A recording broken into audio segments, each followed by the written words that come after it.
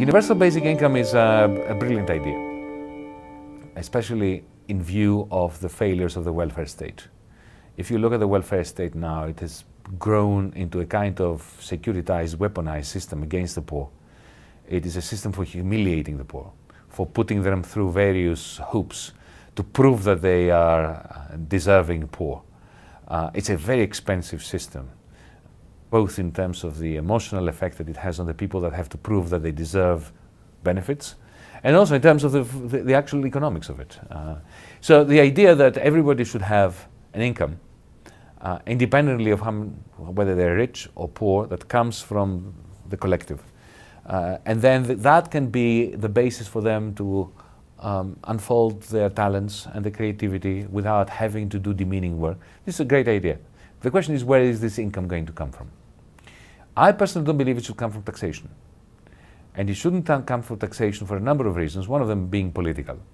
If you take, for instance, a blue collar worker that struggles uh, all day in a factory or on a shop floor or working for Amazon, whatever, uh, and you tell him, usually him, could be her, that um, another person will be sitting on the, on the couch watching television being supported by the state to do this, you're creating a huge political clash there within the working class.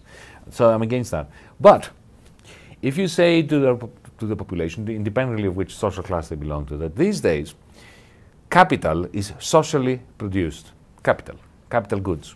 Take, for instance, the stock, the capital stock of Google. To a large extent, it is produced by all of us Every time we search something on the Google search engine, we are adding to the capital stock of Google. This is not just a consumer um, transaction. So if capital is socially produced, why are the returns to capital privatized? on what basis? To cut a long story short, my proposal has been for a number of years now what we call a universal basic dividend. So I believe that a, percentage of all shares, shares of all companies, should go into a public equity trust, like a, a wealth fund for society, and the dividends should be distributed uh, to every member of society equally. So a universal basic income, but the income comes from returns to capital, not from taxation. Whether you agree with this uh, universal basic dividend proposal or not, it is clear to me, at least, at least to me, that we need global governance. Uh, take free trade. Uh, if you're going to have free trade, and I do believe that we need free trade. I'm not in favor of uh, erecting border fences and stopping people from selling uh, their wares into our countries. If you're going to have free trade, you better have it uh, along with uh, regulations that make sure that there's no social dumping. So my advice, for instance, to somebody who agrees with Donald Trump against NAFTA is, well, you want to renegotiate NAFTA, renegotiate it.